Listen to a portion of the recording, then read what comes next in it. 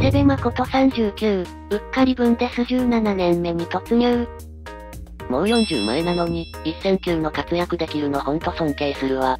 このキャリアに指導者の経験詰めれば、監督になった時が楽しみすぎる。代表引退した次のワールドカップも終わったのに、まだフランクフルトのレギュラーなのマジですごいわ。長谷部を褒めるとき整いすぎっていうのくさ。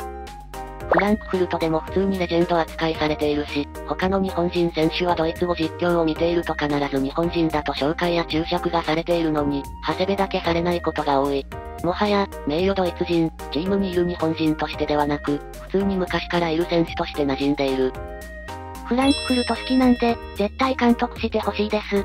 もし無理でも日本代表首脳陣の中枢にはなってほしいです。プレイの質を維持し続けるのはもちろんすごいけど、それ以外のチームへの貢献もかなり認められてると思うので、引退後も頑張ってくれそう。そのままマネジメントも学んで、ゆくゆくは代表監督から JFA 会長まで期待したい。海外指導経験のある日本人監督になってほしい。間違いなく日本歴代最高の選手。長谷部がドイツを出るときは、エムバペがフランスを出るときだな。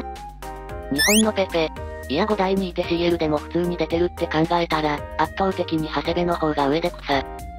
さすがに全盛期のようにはいきませんが、読みや戦術眼で見事な活躍をしていますね。フランクフルトで指導者として成功を果たして、日本代表の監督になってほしいです。日本人が CL で指揮をしている姿を見てみたいですね。願わくば、数のようにならず引き際をきれいに、そのままコーチ監督の流れでブンデスで活躍を続けてほしい。日本人ながら欧州海外チームの指揮官とかワクワクする。ちゃっかりタイトルも取ってるのやばすぎ。ハリーケーンですら難しいのに。イタリアやスペイン並みに高水準な監督を輩出してるから、ドイツで監督修行をして、最終的にそれを日本代表に還元してくれればと思う。長谷部はまだしっかりやれてるからプロとして問題ないよな。